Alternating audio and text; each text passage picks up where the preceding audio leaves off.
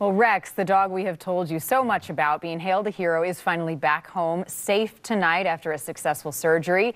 He was shot three times while protecting a teen during a traumatic home invasion robbery in Des Moines last Wednesday. The German Shepherd left Blue Pearl Veterinary Partners in Renton today. After surgery to repair his broken tibia on his left hind leg, he is expected to make a full recovery. But while Rex and his family are very grateful to be safe, they are still in fear as the suspects remain on, on the loose. We're, we're moving. We're moving out. Uh, we don't feel safe no more uh, there. And it's not because of the neighborhood. I think the neighborhood is a nice neighborhood, and that's what everybody keeps saying, you know. And, and I, it's just that for us, you know, it's kind of hard to go back there and have the feeling that somebody's going to go back again. Well, Javier, the teen who Rex risked his life for, says he's going to spend some time giving back to his best friend.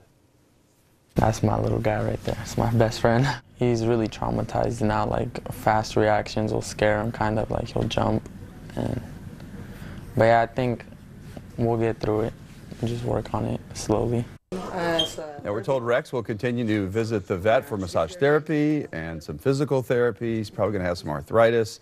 The family expressed their gratitude and thankfulness to everyone who donated to cover Rex's medical bills. Right now they're planning to save the money uh, until they're making sure that they can cover everything and that he's out of the woods moving forward, and then they'll make some decisions. I will tell you that it confirmed today that while the family was at the vet getting treatment for Rex, more low-life thieves broke into their house and burglarized it for the second time because they'd seen the coverage and they knew they weren't there.